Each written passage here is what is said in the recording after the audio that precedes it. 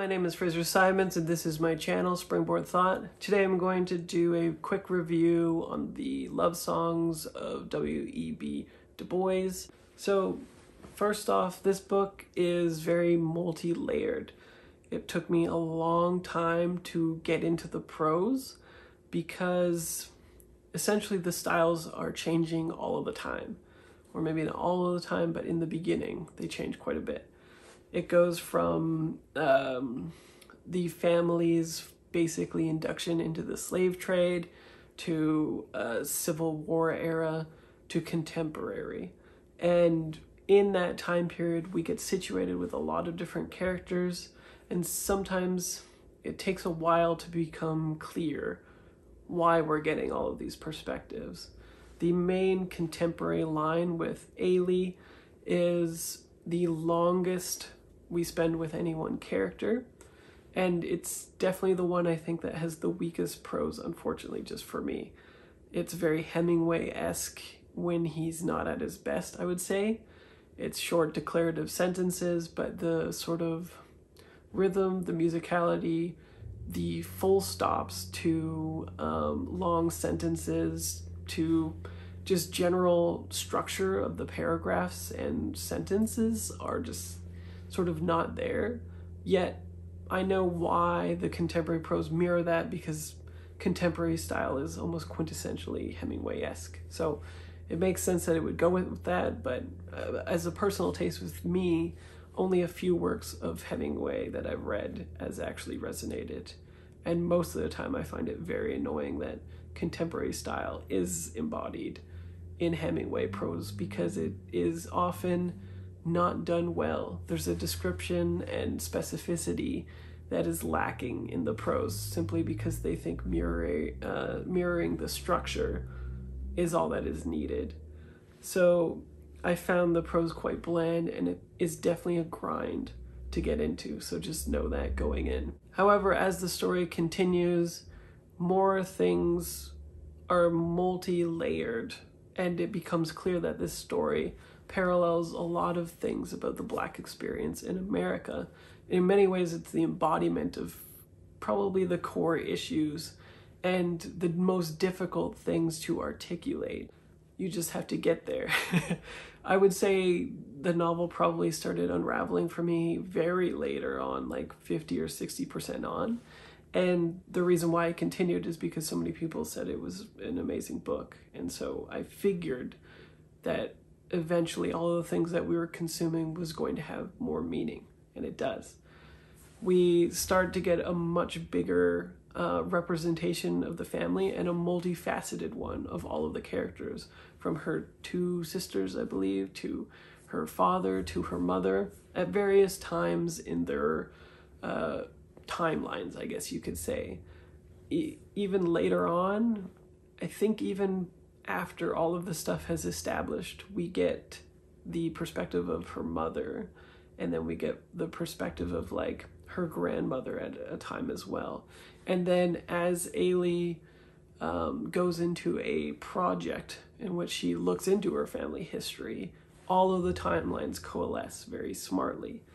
And especially, as I mentioned, with the 50 or 60% in, uh, it starts getting really intelligent about expressing tonal ideas and thematic ones in the family. For instance, when uh, Ailey is recalling trauma that was done to her as a child, which is sort of permeated throughout her experience, but um, as it's articulated to another character, what happens is the chapters start becoming tonally linked. It felt like to me when very strong notions about Ailey's identity, especially as it pertains to family, um, it would sort of cascade down the lines. So she would talk about the trauma, which is uh, a pedophilic event between her, uh, an older parental figure, and her.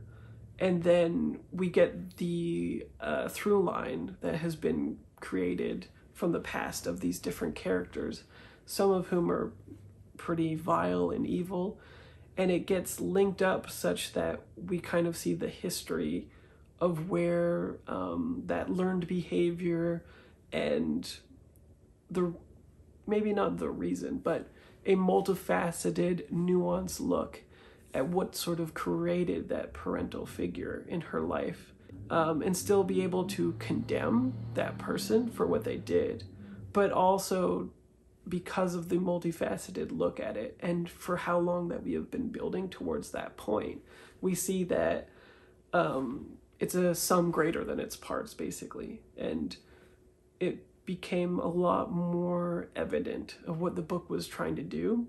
And I noticed numerous times as Ailey is out of her teenage years where this happened.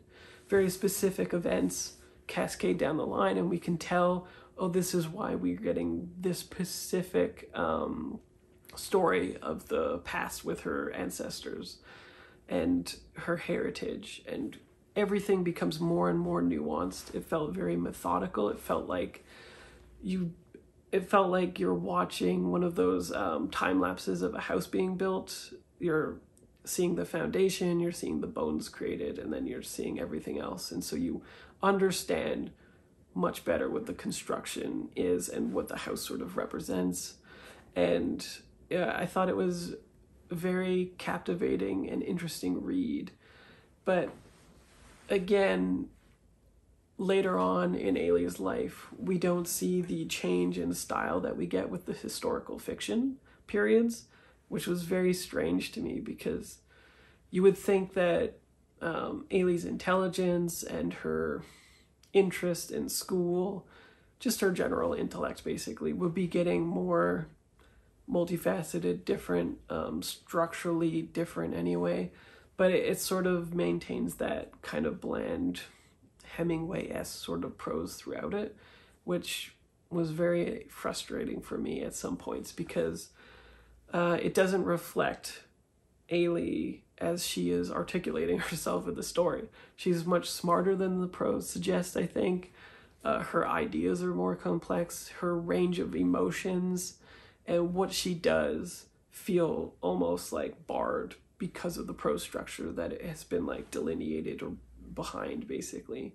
And so it feels like a strange thing but it doesn't stick around for too long because it quickly becomes about her experience with her family through the textuality of her interacting with all these documents that she's collecting and making sense of. And then we get again the multifaceted look about what she can interpret from her family history and how it pertains to the very specific instances of historical fiction that we're able to interact with or are given. And then extrapolate all these different themes and it becomes a story about america about the black experience and again about very core issues in black culture which you would probably expect just from the title of the book. And if it hadn't been for my balking with the prose and not getting along with them. And that's why I chose the audiobook um, after getting it out of the library. And I suggest that's what you do as well. If you pick up the physical book and you're finding that the the structure, the pagination on there is just kind of bland and uninteresting and not engaging, go for the audiobook because the narrator is great um, and it's a new way to consume that voice. And so, what I would generally end up doing is go to uh, the audiobook for contemporary stuff, and then when it went to historical things, then I would switch it up.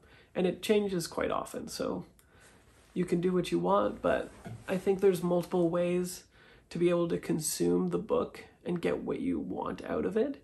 Um, I think rereading it, knowing the complexity of what is going on or the multifaceted nature of the narratives and sort of the validation that you get as a reader from putting in the work of continuing to trust the um, debut author, I believe, through that, you know, 50 or 60% of a pretty large book to be able to get where it does. Um, there's a, it's a rewarding experience. And so I definitely recommend it. Uh, if, again, it hadn't been for the prose hangups that I have, it would have been a five out of five star read instead of a four out of five star read. So take from that what you will. I think that's all I've got to say about it. And I would love more recommendations if there are other books in this style that's trying to do the same thing. I'd love to consume those and compare. So feel free to let me know, and otherwise, I will see you next video. Bye.